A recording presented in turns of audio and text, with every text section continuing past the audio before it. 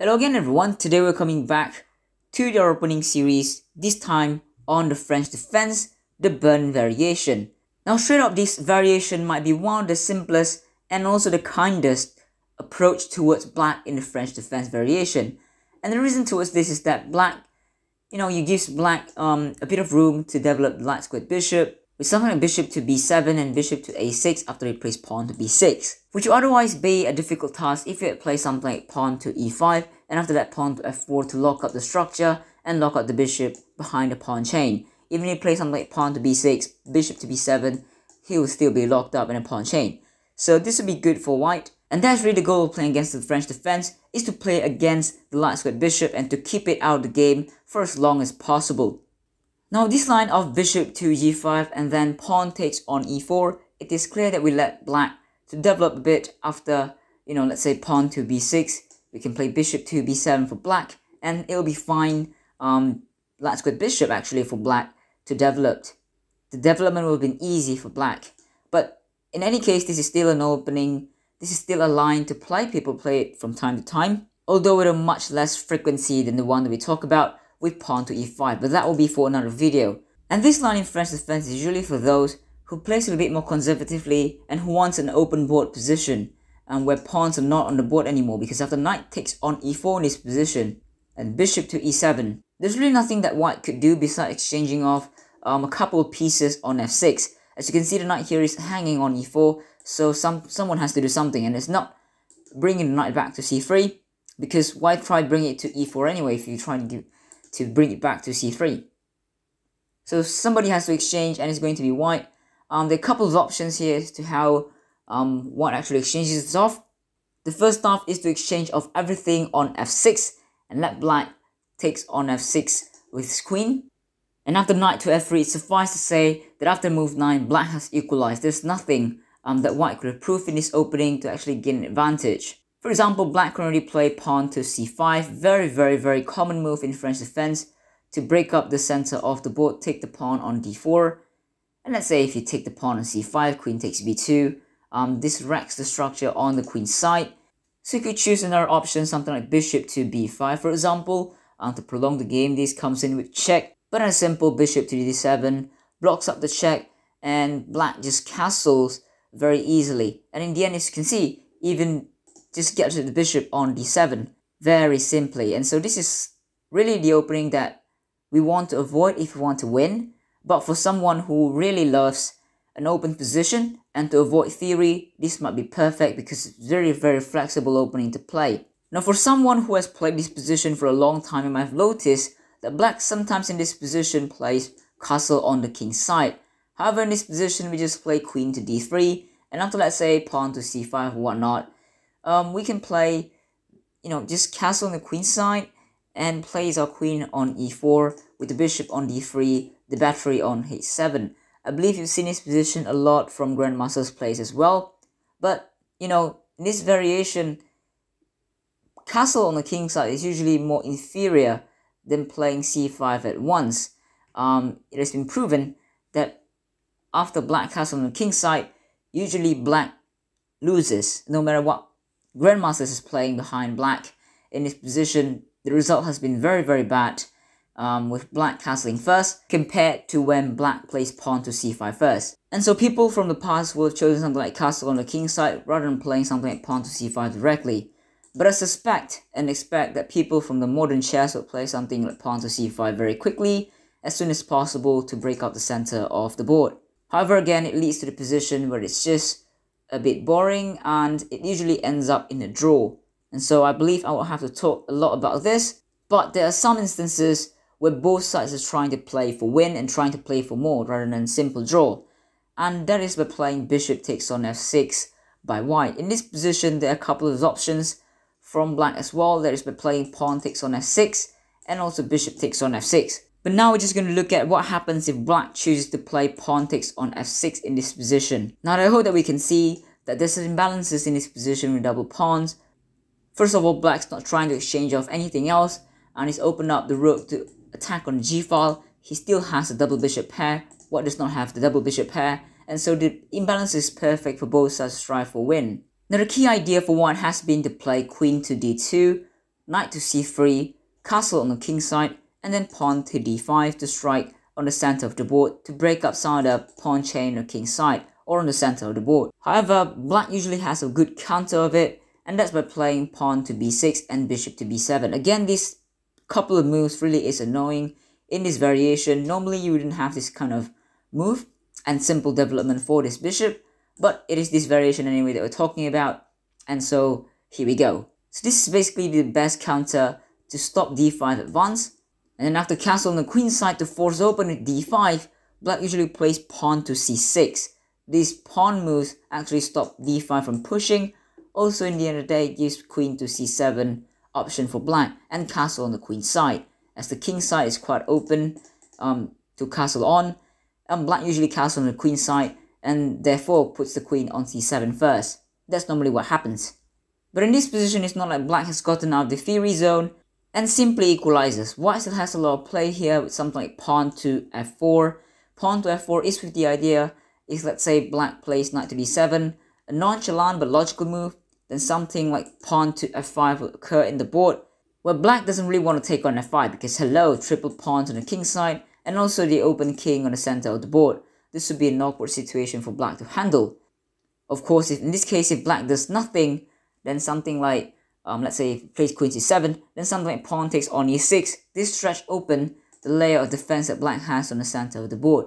Attacking the e6 pawn at once, something like rook to e1, queen to e3, knight to f3, will be a fine development for white, and black will struggle to defend his pawn on e6. So that will be a no-no for black. So usually black in this position um, actually plays pawn to f5. Now this gives a room for the bishop to work on, also to stop the pawn from advancing to f5 and cause some trouble. Later on in the game, you can play rook to g8, targeting the g-file, and we'll work on the opening from there. And uh, yeah, knight to f3 usually played by white, and after let's say knight to d7 and queen to c7, we usually play g3 and bishop to g2 just because we don't have a little scope on the center of the board with this kind of defense. And so usually we focus a bishop on the king side, attacking towards the queen side right here. Additionally, if you bring your bishop, let's say to c4 in this variation, you might be hit by pawn to b5 after black castles on the queen side, or pawn to b5 immediately, that's also very possible. And so that's why in this position, majority of the player will play g3 and bishop to g2 to just leave the bishop have a prospect on the king side right here. The sample line in this position could be that black castle on the queen side, you know, bring the rook to screen the queen here on d2. The queen could have gone to, let's say, e3 to prepare something like knight jump to e5 and rook to e1. And let's say in this position, black plays pawn to h4 to break up the king side. It's very normal. And we can play knight to e5. That's been our goal as well, to bring the knight to the center of the board and to trade some pieces. Also additionally attacks the pawn on f7. Normally you also see black try to exchange that off. And in this position, to be honest, just pretty much equal for black. Black has placed nicely in this position and it'll be up to the players to come up with something creative in this position and in the middle game phase to, let's say, incur some blunder from your opponent. But as of the current moment, we can see that it's a solid position for black. It's really hard to break through. The other move that white definitely can play is to play queen to h6, and that is with the idea of taking a pawn h7 after queen to g7. And so let's say after black develops something very simple, to d7, we can play something like queen to g7, attacking the rook. After rook to f8, we pick up the pawn on h7. And so this is actually a viable line to play as well. Um, the idea is, yes, we have brought up our major pieces multiple times just to take a pawn, but uh, then we have a h pawn that we can push forward later in the game to create a pass pawn. So sample line again, this position will be something like queen to c7, getting ready to castle on the queen side. And then quite literally, we can prepare to bring our queen back and to push our pawn. Something like queen to h3 will be fine in this position. But let's say after castle on the queen side, we can bring queen to e3 and voila, we can just push our pawns onto h4, h5, h6 and hopefully we can get a queen later on. And if it's not for the queen, this pawn will be serving as a good deflection um, to give up a pawn for a good development down the road later on. Another simple move that white can play is play queen to d3, queen to b1, and let's say pawn to h4 next, pawn to h5, h6, and just develop our pieces like this. Very simple in this position. Black will try to just castle on the king side, bring the rook on h8, stop the pawn from promoting, something along the line. Pawn to f5 as well as we talk about. And so that's pretty much the possible line if black plays pawn takes on f6 in this position. Um, in this position, black can also play bishop takes on f6, and as we've discussed earlier, knight can take on f6, but this results in a very drawish and dry position after pawn to c5. And so for the white players who wants to keep some chances to win, they usually play knight to f3. Now this one defends the pawn on d4 as this being attacked right now. And for black, it's just the same old principle again. Bring the knight to d7 and play pawn to b6 in this position and bishop to b7 to bring the bishop out to develop this on the long diagonal. Easy development for black. Now as for the queen, it can go to d2, it can go to d3. It goes to d3, there's a possible idea of bring the knight to g5 and checkmating black if black ever castles on the king's side with pawn to h4, pawn to h5 later on. So for example, if black castles on the king's side, then already there might be ideas of let's say pawn to h4 in this position, to attack on the king's side, knight to g5, next move with threat and checkmate. It's just that most of the time it's not easy. If let's say pawn to b6, knight to g5, black could simply played pawn to g6 and that's that. However, then white can also just play pawn to h5 in this position and so that leaves a lot of options for black and white to go through. Mainly it's dangerous for black and very very playable for white because it's just going to castle on the queen side and that's just going to be very easy safety for the white king. But I personally never believe in queen to d3 attack and so I usually recommend players to just play something like queen to d2 and this has been one of the most common line for white as well instead of queen to d3 where it's just trying to go for some cheeky checkmate. Um, in this position black can castle but after castle on the queen side the usual plan comes again with b6 and bishop to b7 as we talk about. Um, this queen e3 move from white is just trying to defend the knight on e4.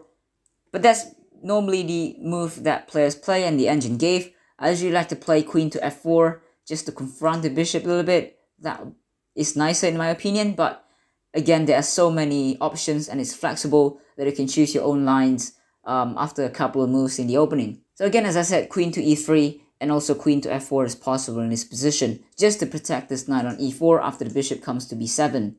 Up here, there's a couple of options for white as well. White could have gone for, let's say, knight to e5 or bishop to d3. Knight to e5 brings the knight to the center, encouraging the exchange, let's say. So black takes on e5. The queen is open to rook. That'll be kaput for black. Black, however, can choose something like bishop to e7 just to get off the confrontation on f6, relieving some pressure. And in this position, it's really difficult again to make progress because even let's say we have bishop to b5, then black plays knight to f6, which again counters attack on e4. We have to do something about the knight on e4. And so usually we play something like um, knight takes on f6, and after bishop takes on f6, we can play pawn h4, stop the bishop g5 pin, that will be bad for us, while at the same time trying to attack on the king's side.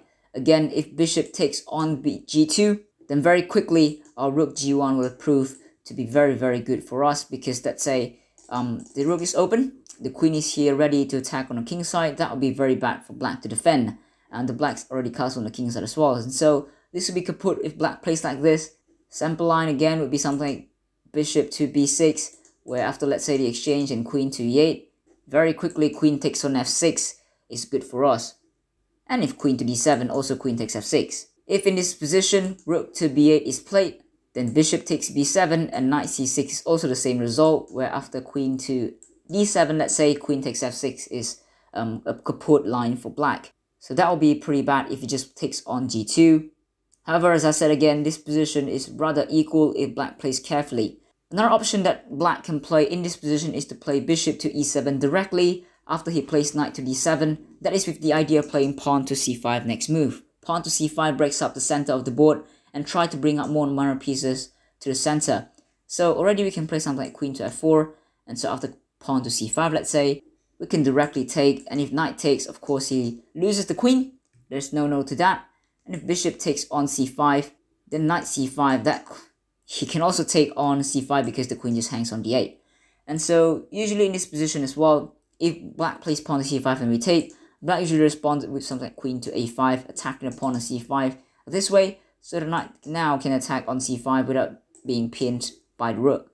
Again, it's attacking a2 as well, so we're probably very forced to play king to b1 and also a3 to stop the a pawn from being lost. In this position, there's some freedom to what black can do. Knight to c5 can happen, bishop c5 can happen. Um, but usually in this position, we can probably claim that the position is better for us because easy development, easy attack, easy plan. We can just push everything on the king side. And yeah, trying to checkmate black in this position.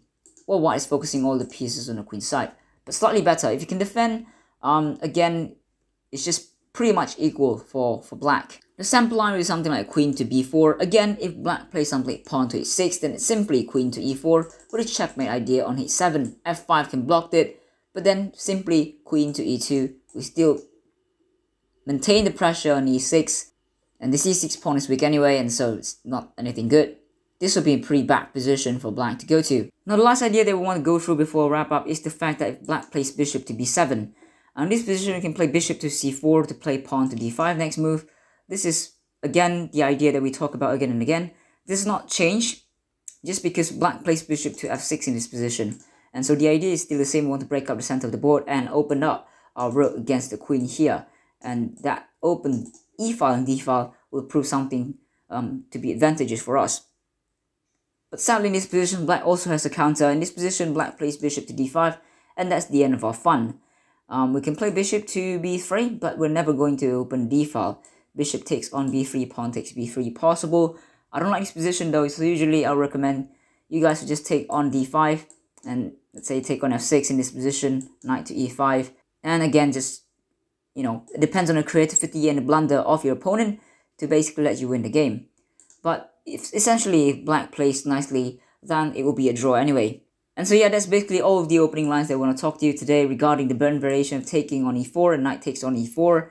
And uh, yeah, it's a very dry opening. I don't really recommend um, playing bishop to g5 anyway. But for you guys who wants to play an open position, a very simple position just to play chess in general, I recommend it.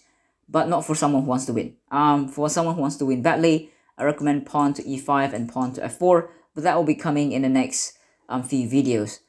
And so that's that. If you learn anything new, if you learn something new, if you have fun, please consider slamming the like button. It'll help me a lot. I'll appreciate it. Otherwise, I'll see you next one. Thanks for watching.